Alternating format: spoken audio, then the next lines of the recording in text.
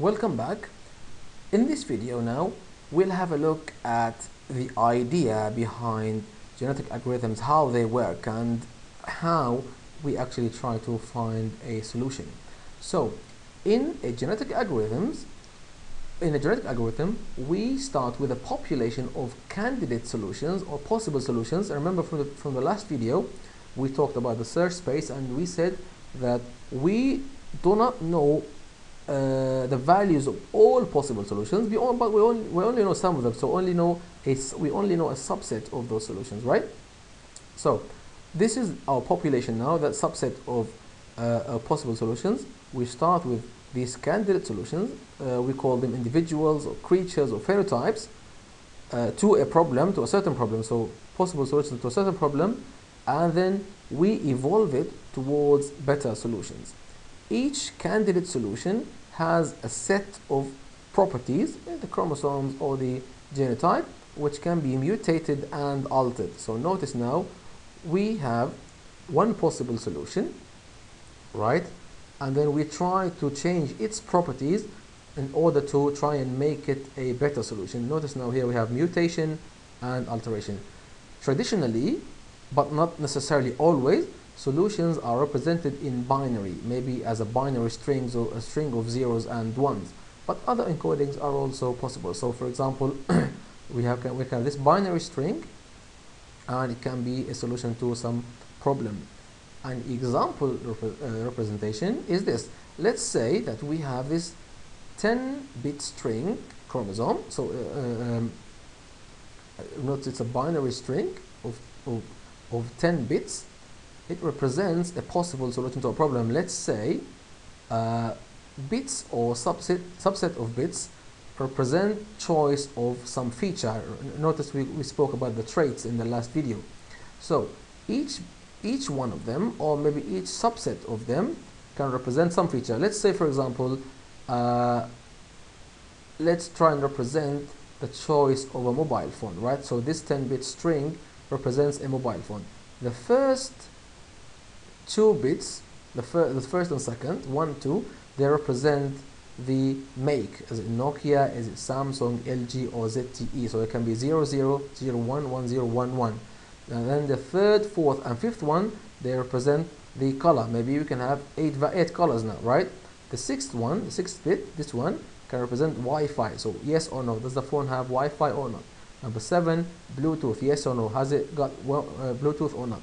And then 8 touch screen yes or no because 1 and 0 9 is it waterproof yes or no. And number 10 does it have a front camera yes or no? So notice this we can represent a choice of a mobile phone using a binary string. This is just a simple example. Things hopefully will make sense when we uh, explain the operators more and then have a look at some Java implementation. Now the evolution usually starts from a population of randomly generated individuals. As we said before, we can know some so possible solutions, so we'll randomly generate these possible solutions and then uh, iteratively try and come up with better solutions. So we start from a population of randomly generated individuals and is an iterative process though, so the evolution is quite iterative with the population in each iteration called a generation. So we have iterations and in each iteration we have a certain population, we call it a generation. In each generation, the fitness of every individual in the population is evaluated. Notice now, the fitness is usually the value of the objective function in the optimization problem being solved. The fitness of every solution, of every possible solution of every individual is evaluated. So we check how good that solution is. Does it solve the problem? How close it is to the actual solution or how close it is to the real solution uh, that we are looking for. The most fit individuals are stochastically selected. There's a bit of randomness here from the current population and each individual's genome is modified. So if you remember these characteristics, these details, we modify them. We try to change them in order to find a better solution. We can do recombination or maybe some random mutation to form a new generation. So we get rid of the weaker solutions, the one, the least uh, uh, suitable solutions and then we try to do some recombination and uh, mutation to find better solutions. The new generation of candidate solutions is then used in the next iteration of the algorithm.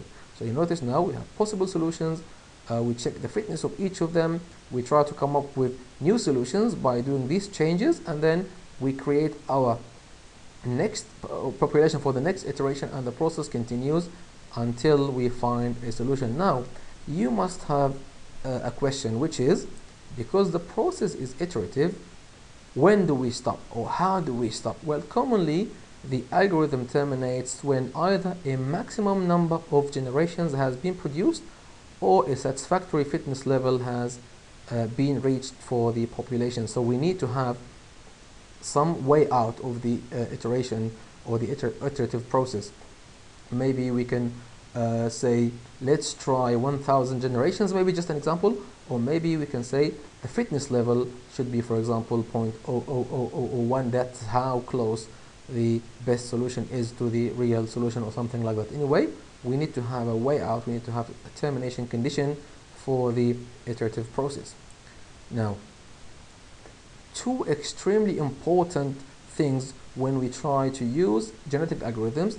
The first one is the representation. How do we represent the solution to our problem? So, a genetic representation of the solution domain, i.e. the genotype, will be different for a different problem domain. So each problem can have a different representation. This is very important to remember. When you have a new problem, you have to think of a suitable solution of, uh, I'm sorry, suitable representation of the solution. And then the second thing is the fitness function. The fitness function is to evaluate each solution, how good, as we said, to find out how good each solution is and the fitness function can be different for different problem domains. So you have to think of uh, the fitness function, a fitness function that is suitable to your problem. These two items must be developed again whenever a new problem is specified. What that means, as, as I mentioned before, that when you have a new problem, you have to think of the best representation and the best fitness function. Uh, I think I'm going to stop here. In the next video, I'll start talking about genetic operators. Thank you very much for watching and I'll see you in the next video.